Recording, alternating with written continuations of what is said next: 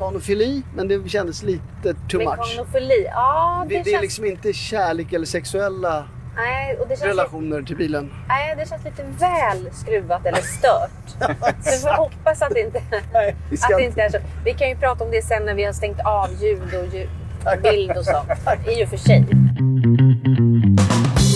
La nouvelle Citroën, présentée au Salon automobile le 6 octobre 1955, rencontre un vrai succès. C'est la bousculade. Le stand, les commandes explosent. Vous écoutez Patapoden avec Nice Lagargren et Eric Palmkrantz.